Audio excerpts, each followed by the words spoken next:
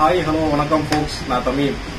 இந்த வீடியோவில் நம்ம வந்து நேந்திரம் பழம் பஜ்ஜி எப்படி போடலாம் அப்படின்றத தான் பார்க்க போகிறோம் இது பழம்பொரின்னு சொல்லுவாங்க பழம் பஜ்ஜின்னு சொல்லுவாங்க நிறைய இடத்துல. ஸோ அதை எப்படி போடலாம் அப்படின்னு நம்ம போய் பார்க்கலாம். எல்லாரும் எப்படி இருக்கீங்க வியூவர்ஸ் நல்லா இருக்கீங்களா? ஸோ இந்த வீடியோ உங்களுக்கு பிடிச்சிருந்துச்சு அப்படின்னா நம்ம வீடியோக்கு லைக் பண்ணுங்க. நம்ம சேனலுக்கு சப்ஸ்கிரைப் பண்ணுங்க. ஹாய் வியூவர்ஸ் எப்படி இருக்கீங்க? நேந்திரம் பழம் பஜ்ஜி செய்யறது எப்படின்னு உங்களுக்கு காமிக்கிறேன். இது வந்து நேந்திரம் பழம். இது நார்மலான இந்த சாதா பழம் நம்ம ஊர்ல உள்ள பழம் கிடையாது. கேரளா பழம் அதை நம்ம ஃப்ரூட் கடையில எல்லாம் கிடைக்கும். இந்த பஜ்ஜி வந்து எப்படி செய்யுதுன்னு காமிக்கிறேன். அதுக்கு என்னென்ன தேவையான பொருட்கள் காமிக்கிறேன். இது வந்து மைதா மாவு ரெண்டு கப் வச்சிருக்கிறேன். அப்புறம் வந்து தேவையான அளவுக்கு சர்க்கரை. நம்ம சீனி எவ்வளவு தேவையோ சுவைக்கு ஏற்ற மாதிரி போட்டுக்கோங்க. ஏன்னா பழம் இனிக்கும். அப்புறம் வந்து கொஞ்சம் லைட்டா கலர் பவுடர் வச்சிருக்கேன். ஏன்னா மைதா மாவு வெள்ளையா இருக்கனால பஜ்ஜி வந்து கலரா தெரியாது. கொஞ்சம் லைட்டா போட்டுக்கோங்க. தேவைக்கு கொஞ்சம் ஒரு சிட்டிகை உப்பு. கையில இப்படி எடுத்து போடணும். நம்ம எப்படி செய்யறது? கலக்கி காமிக்கிறோம் உங்களுக்கு மாவை ஹலோ இப்போ வந்து நான் வந்து உங்களுக்கு வந்து மைதா மாவு எப்படி கல கரைச்சி அது பஜ்ஜி மாவு எப்படி ரெடி பண்ணுன்னு சொல்லி தரேன். தேவையான அளவு சர்க்கரை போட்டிருக்கோம். ஒரு நாலு ஸ்பூன் சர்க்கரை போட்டிருக்கேன். அப்புறம் வந்து லைட்டாக ஒரு சிட்டிகை உப்பு இப்படி ஸ்பூனில் எடுத்து கொஞ்சம் எடுத்து போட்டால் போதும். இந்த அளவு போதும். ஏன்னா அது ஒரு சுவைக்காக அது போடணும். கொஞ்சம் கேசரி கல் போட்டுக்கோங்க. இப்போ வந்து எப்படி கரைக்குதுன்னு சொல்லித்தரேன் மைதா மாவுல சக்கரை போட்டாச்சு ஒரு சிட்டிகை உப்பு போட்டாச்சு கலர் போட்டு போட்டாச்சு. இது எல்லாமே இப்படி கலந்து பஜ்ஜி மாவு பழத்துக்கு பஜ்ஜி மாவு காட்டி கொஞ்சம் திக்கா இருக்கணும். ஏன்னா இந்த பழத்துல வந்து ஒட்டாது. அதனால கொஞ்சம் வந்து திக்காவே இருக்கணும். நான் உங்களுக்கு கரைச்சிட்டு ஃபுல்லா காமிக்கிறேன்.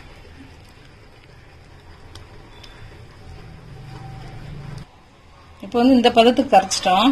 இப்போ நம்ம கையில தண்ணி மாதிரி ஓடக்கூடாது. கொஞ்சம் திக்கா இப்படி இருக்கணும். பழம் முக்கணும்னா நம்ம இது முக்கி டிப் பண்ணி போடும்போது தெரியும் நம்மளுக்கு. அந்த பழத்துல வந்து இந்த மாவு வந்து நல்லா அப்ளை ஆயிருக்கணும். போதும் இருக்கும். பழத்தை போட்டு காமிக்கிறேன். வேந்த பழத்தை இப்போ எப்படி கட் பண்ணணும்னு சொல்லி காமிக்கிறேன். ஃபுல்லா அப்படி உரிச்சுங்க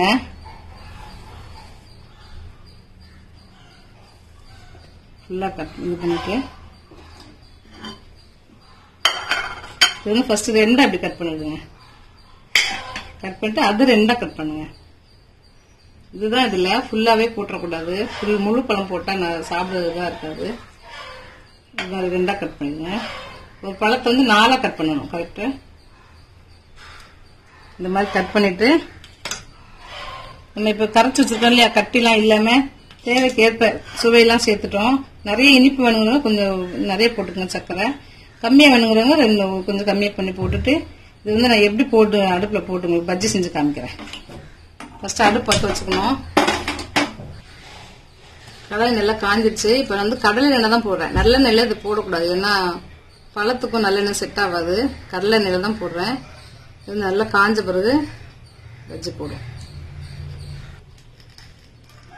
எண்ணெய் காயிற வரைக்கும் இந்த பழத்தோடைய பலன் என்னன்னு உங்களுக்கு சொல்றேன். நேந்திர வந்து ரொம்ப ரத்த விருத்தி செய்யும். நல்லா வந்து ரத்தத்துடைய கழிவெல்லாம் வெளியே அகற்றிட்டு மலச்சிக்கல் இந்த மாதிரி பிரச்சனைகள் வந்து சரி பண்ணும். அப்புறம் வந்து ஒல்லியா இருக்கிற உடம்புக்காரங்க வந்து தினம் நல்லா கனிஞ்ச வாழைப்பழம் இந்த நேந்திர வந்து தினம் ஒன்று சாப்பிட்டே இருந்தாங்கன்னா ஒரு நாற்பத்தஞ்சு நாள் சாப்பிட்டு வந்தாங்க அப்படின்னா அவங்களுடைய உடம்பு பருமன் தெரியும் நம்மளுக்கு. ஃபேஸ்லாம் சப்பி ஆயிடும். நல்லா உடம்புக்கு நல்லா வெயிட் போடும் கொஞ்சம். அதுக்கப்புறம் வந்து ப்ரெக்னென்ட் லேடி வந்து இது வந்து இந்த பழம் வந்து தினம் எடுத்துக்கிட்டாங்கன்னா பிள்ளைக்கு மூளையுடைய வளர்ச்சி அப்பதானே ஸ்டார்ட் ஆகுது மூணு மாசத்துல இருந்து அதுல இருந்து அந்த பிள்ளைங்களுக்கு வந்து மூளையுடைய சுறுசுறுப்புக்காக நாளைக்கு ஃபியூச்சர்ல பிள்ளைங்க நல்லா சுறுசுறுப்பா இருக்கிறதுக்காக இந்த பழம் வந்து ரொம்ப ஹெல்ப் பண்ணும். நீங்க சாப்பிட்டு பாருங்களேன் இந்த பஜ்ஜியும் உங்களுக்கு டேஸ்டா இருக்கும். சாப்பிட்டு பாருங்க நான் போட்டு காமிக்கிறேன். அப்புறம் வந்து இரகுலர் பீரியட் பெண்களுக்கு வந்து இந்த பழம் வந்து அடிக்கடி சேர்த்து வரும்போது ரெகுலர் பீரியட் ஆயிடும் அதனால நீங்க அடிக்கடி சேர்த்து பாருங்க.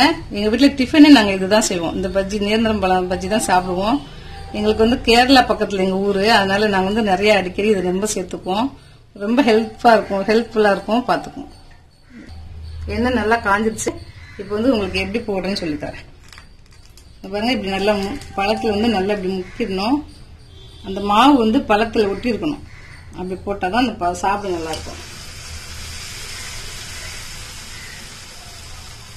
ரொம்ப சுவையா இருக்குங்க. இனிப்பும் அந்த பழத்துடைய இனிப்பும் இந்த மாவுல லைட்டா நம்ம சக்கரை போட்டிருக்கோம் இல்லையா? அதுவும் சேர்ந்து நீங்க சாப்பிட்டு பாருங்களேன். காலை டிஃபனே நீங்க வேற எதுவும் சாப்பிட மாட்டீங்க. வயிறு நிறைஞ்ச மாதிரி ஒரு நமக்கு ரொம்ப நல்லா இருக்கும். வயிறு நிறைஞ்சிருக்கும்.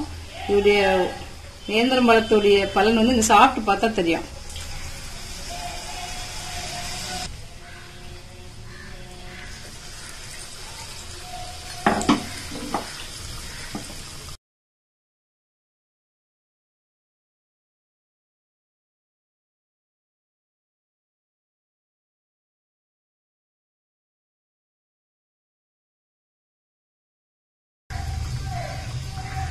இது பாதி வெந்துச்சு இப்போ திருப்பி விடுவோம்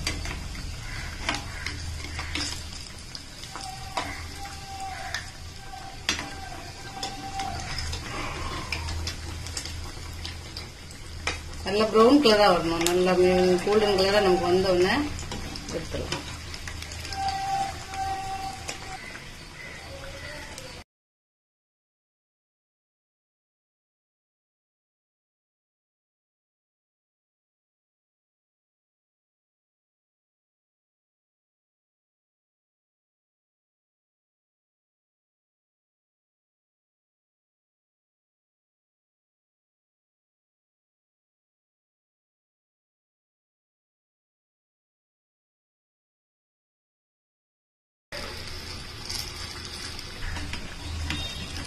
நல்லா வெந்துச்சு இந்த கலர் வந்தாலே எடுத்துருங்க.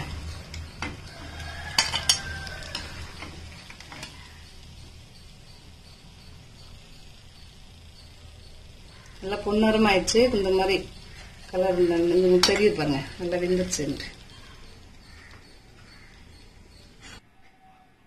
வாவ் நேந்திர பஜ்ஜி ரெடி செம்மையாக மணக்குது. ஆக்சுவலாக இதை நீங்கள் வீட்டில் ட்ரை பண்ணும்போது நீங்களே ஃபீல் பண்ணுவீங்க. வீடே உங்களுக்கு செம்மையாக மணக்கும். அந்த பழத்தோட ஸ்மெல் இருக்கு இல்லையா? செம்மையாக சூப்பராக அப்படியே வீடே கம கம கமன்னு மணக்கும். இந்த பழத்தோட நன்மைகள் அம்மா சொல்லியிருப்பாங்க. இரகுலர் பீரியட் இருக்கிற பெண்களுக்கு வந்து இந்த பழம் ரெகுலராக சாப்பிட்டுட்டு வரும்போது பீரியட்ஸ்லாம் ரெகுலராக வரும். அதுக்கப்புறம் இந்த ரத்த சோவுலாம் இருக்கும் இல்லையா சில பேருக்கு? அதாவது பிளட் கண்டென்ட் கம்மியாக இருக்கும் ஹீமோகுளோபின் கம்மியாக இருக்கும். ஸோ அந்த ஹீமோகுளோபின் கம்மியாக இருக்கிறவங்க இந்த பழம் கொஞ்சம் கனிஞ்ச பழம். இது காய் விட்டால் தான் கடையில் கிடைக்கும். இதை நீங்கள் வீட்டில் வாங்கி வச்சீங்க அப்படின்னா ரெண்டு மூணு நாளில் கனிஞ்சிரும். இந்த கனிஞ்ச பழத்தை நீங்கள் ரெகுலராக சாப்பிட்டுட்டு வரும்போது ஒன் மந்த் நீங்கள் ரெகுலராக சாப்பிட்டு வந்தாலே சரி ஹீமோகுளோபின் கண்டென்ட் லெவல்லாம் நல்லா இம்ப்ரூவ் ஆகிடும் சூப்பராக இருக்கும். கண் ப்ரெக்னென்ட் லேடிஸ்க்கு இன்னும் ரொம்ப ஹெல்ப்ஃபுல்லு அவங்களுக்கு ரத்தம் நிறையா ஊறணும். குழந்தைக்கும் வந்து நல்லா வெயிட் போடும் இந்த பழம் சாப்பிட்றதுனால. இந்த பழம் நீங்கள் வந்து காலையில் காலையில் எந்திரிச்ச உடனே ப்ரஷ் பண்ணிவிட்டு தண்ணி குடிச்சிட்டு இந்த பழம் சாப்பிடுங்க. ஸோ ரொம்ப ஹெல்ப்ஃபுல்லு பிரெயின் நல்லா ஆக்டிவாக இருக்கும் அப்படின்வாங்க இதை கண்டிப்பாக ட்ரை பண்ணி பாருங்கள் உங்களுக்கு எதுவும் டவுட் இருந்துச்சுன்னா சொல்லுங்கள் நான் அம்மாவை கேட்டு சொல்கிறேன் இப்போ நம்ம இந்த பட்ஜெட் ட்ரை பண்ணுவோம். ட்ரை பண்ணி எப்படி இருக்குது அப்படின்றத நான் உங்களுக்கு சொல்கிறேன் இப்போ இந்த பஜ்ஜை நம்ம டேஸ்ட் பண்ணலாம். ஒரு பஜ்ஜி எடுத்துருக்கோம். எப்படி இருக்கு அப்படின்றத பாருங்கள் நல்லா இருக்கு நல்லா மனமாக இருக்கும்.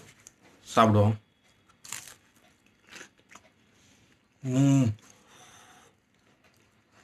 அந்த பழம் இன்னும் நல்லா சூடாக இருக்கு ஆக்சுவலாக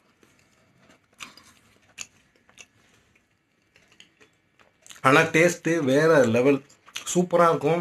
இதை நீங்கள் சாப்பிட்டு பாருங்க. அதுக்கப்புறம் வாழைக்காய் பஜ்ஜியே வேணாம். இந்த பஜ்ஜி எங்கே கிடைக்கும்? அப்படின்றத நீங்கள் கண்டிப்பாக தேட ஆரம்பிச்சிரு இந்த வீடியோ உங்களுக்கு பிடிச்சிருக்குன்னு நினைக்கிறேன். நம்ம சேனலுக்கு கண்டிப்பாக லைக் பண்ணுங்கள் சப்ஸ்கிரைப் பண்ணுங்கள் கமெண்ட் பண்ணுங்கள் ஓகே தேங்க்ஸ் ஃபார் வாட்சிங் ஃப்ரெண்ட்ஸ் நன்றிகள்.